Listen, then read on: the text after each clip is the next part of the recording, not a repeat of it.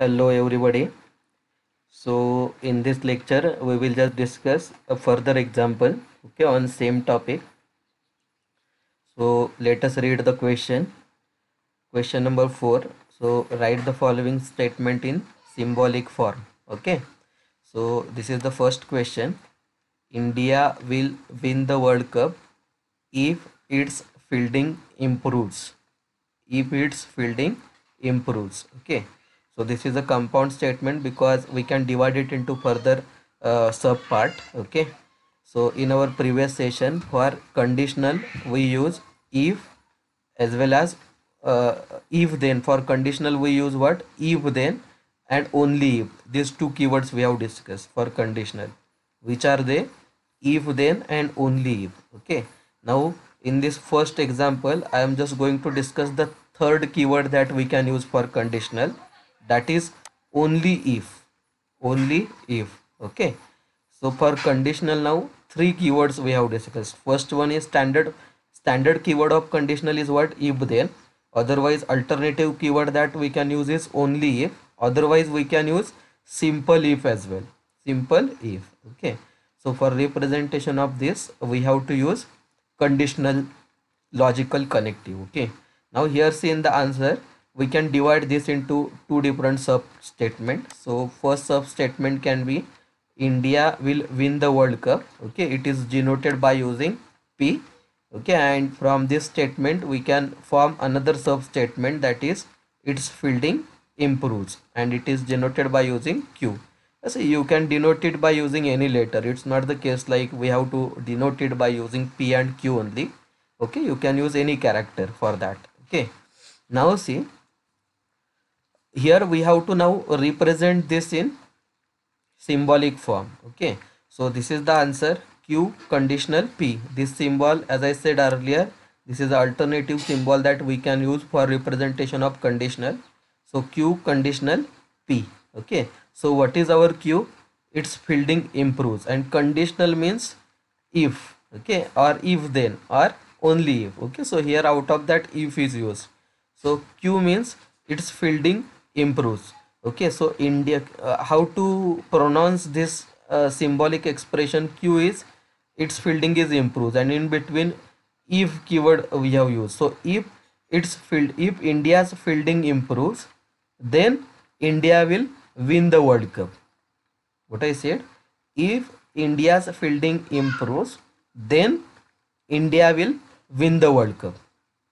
Okay so uh, you can either write it in this way otherwise straight away you can take this. Okay you can write it uh, uh, in uh, alternative uh, ways as well. Okay it's not the case like you have to write it by using this way only.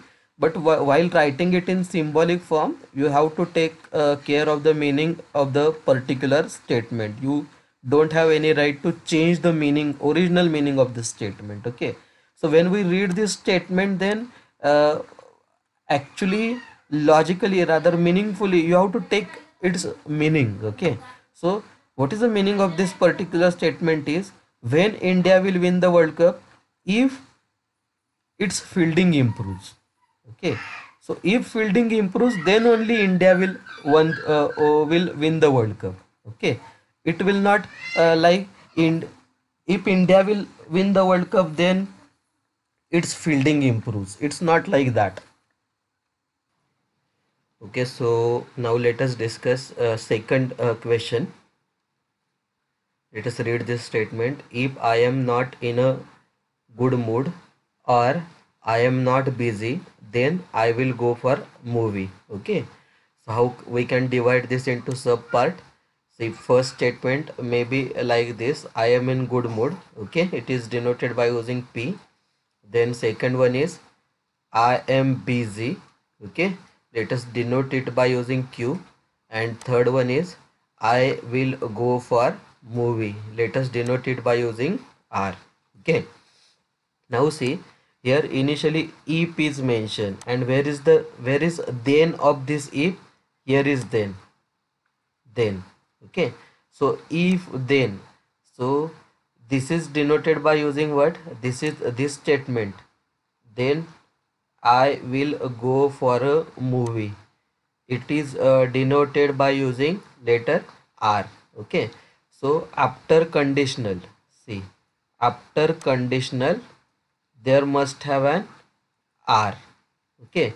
Now here we have to find uh, this part. Part which must be present before conditional. Okay.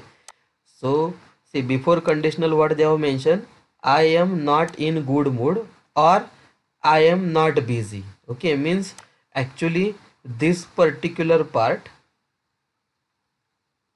this particular part will be present before this then means before this conditional okay? But this part contain again two statement in it. First statement is what i am not in good mood and second one is i am not busy. And in between straightforward keyword is given that is r. So let us uh, write it in bracket. So i am not in good mood and p denotes what? I am in good mood. Means here there is what? Negation of negation of p. Negation of p okay? And in between r is directly given so there must have r okay? And then i am not busy. So here uh, q denotes what? I am busy. So i am not busy is given. That's why there will be what? There will be negation of negation of q. Okay and this must be in one bracket because this part is first operand of this uh, conditional and r is a second operand. Okay. So overall expression here is like what? In bracket negation P or negation Q bracket complete conditional R. Okay. So I hope you are getting this point. Now let us discuss next question. If you know object oriented programming and Oracle then you will get the job. I repeat if you know object oriented programming and Oracle then you will get a job so we have to divide it into sub parts so let us p denote you know object oriented programming. Q denotes you know oracle and r denotes you get a job. Okay. Now see again where is if of this where is then of this particular if? Here there is a then. Okay. Means after conditional this part must be there. This part must be there. You will get the job. And you will get the job is denoted by using what? R. So after conditional there must have r. Okay. Now we have to concentrate on this part just like previous example this part. Okay. Now see this part contain two statements in it where first statement is you know object oriented programming and in between there is what? There is and this time. Okay. And oracle. So you know object oriented programming is denoted by using what? Is denoted by using P. Okay. Is denoted by using P. And in between see directly standard keyword is given. And you know oracle we denoted by using what? Q. So p and p and q. Okay? Overall bracket conditional conditional r. Okay? So here final answer is given. P and Q in bracket okay and overall bracket conditional R. As I said earlier for conditional either we can use this symbol or we may use this symbol as well okay. And now let us uh, read last question. I will get a good marks in the examination if and only if I study hard okay. Now if you remember uh, our logical connectives lecture then uh, you may uh, understand this particular statement. If and only if keyword we use for representation of what? If and only if we use for representation of biconditional. And how we denote biconditional? Either we can denote biconditional by using this symbol or you may denote biconditional by using this symbol as well three times. Okay? Either you can use this symbol. Okay otherwise you can use arrow towards both end this symbol okay? In this book they have used uh, this one okay? So if and only straightforward the keyword for biconditional given. So let us uh, divide this statement into sub parts so first statement let us p denote i will get a good marks in the examination and q denotes i study hard. So I will get if no, sorry I will get good marks in the examination is denoted by using P P okay? And if and only if that is uh, biconditional so either we can use this symbol or you can use this symbol as well okay? And then in front of if and only if what they have mentioned I study hard and I study hard we denoted by using Q okay? So this will be final answer for last question okay? So in this session uh, we we discuss uh, one more uh, uh additional point that is biconditional. Uh, we can uh, represent either by using this symbol or you can use this symbol as well for representation of biconditional okay?